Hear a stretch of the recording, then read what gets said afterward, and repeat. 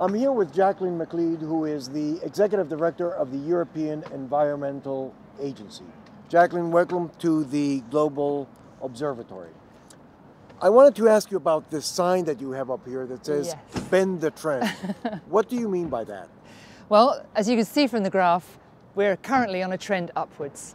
And uh, we really have to get people behind the idea that it's not just governments that have got to do the work. We've all got to bend the trend. So tonight we're going to actually have a climber show us by bending that line downwards to see what we actually have to do to get from a planet that's going to be potentially in trouble at four, five, six degrees if we don't do anything, and how, we, how hard it's going to be to get down to a safe level where this planet will be at around about two degrees. Now, when you're talking about bending the trend, we're obviously talking about working together to lower carbon emissions. And that's what COP15, the meeting here at Copenhagen, is all about. What are your expectations with respect to this meeting? Today, I think we would have to be more optimistic than we've been in many months. I think many leaders are getting the message that citizens have high expectations. Mm-hmm. But there's something different that we're asking of our political leaders today. It's not about representing their own countries and their own people.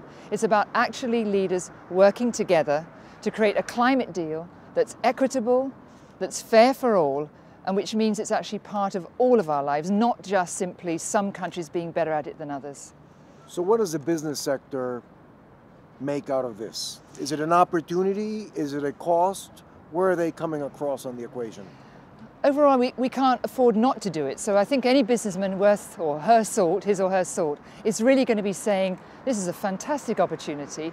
How can I actually make new partnerships to put my products, my green products, my energy efficiency products, whatever they are, out into perhaps the most opportune time when people are looking for solutions. They're not looking for problems, they're looking for solutions. Mm-hmm. So if you've got a solution, this is absolutely the time to put it out there. So business opportunity, people opportunity, and I think that one of the greatest opportunities for leaders to show that this is what will go down in history. This is their legacy in Copenhagen. That's what leadership is all about. Jackie, thank you so much for being Thank with us on the Global Observatory. Thank you so much, Jose.